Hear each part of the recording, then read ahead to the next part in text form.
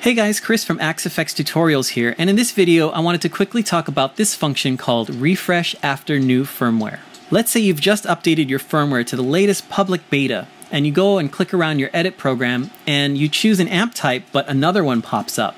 Or let's say in a parameter with a number value there's a word or something like that, or just something doesn't look right. All this means is that the hardware was updated with the new public beta, but it wasn't synchronized yet with the edit program. Now, with official firmware releases, a lot of times this function happens automatically with that new release.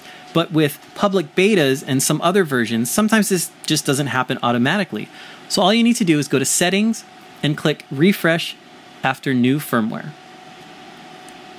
This will bring up the pop-up that says Reading Block Definitions. This occurs when saved definitions do not match those in the connected device.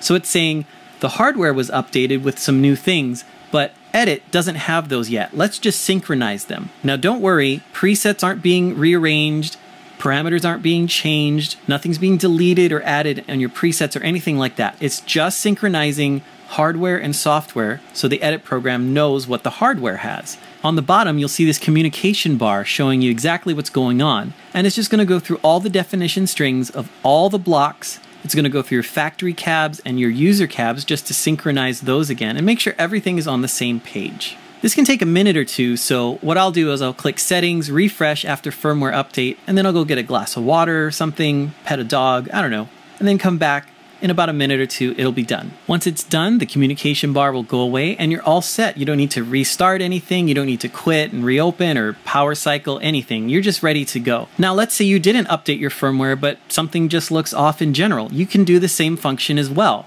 Anytime something doesn't look quite right or not how you remember it edit, just click settings, refresh after new firmware, wait for it to finish, and then you're ready to go.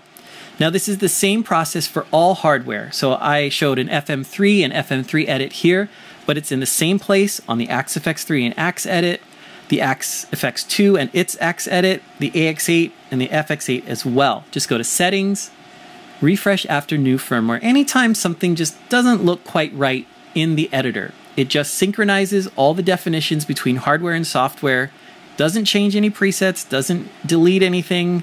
It's totally safe. Just do that if something doesn't look right and you'll be good to go. All right, that's it for this video. See you in the next one.